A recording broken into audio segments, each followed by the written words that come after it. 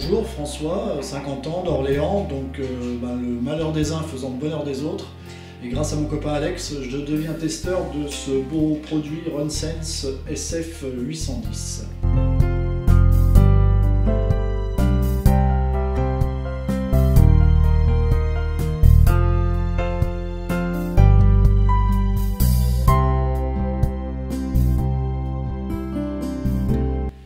Première euh, sensation, très légère euh, au poignet, le cardio a bien détecté. euh.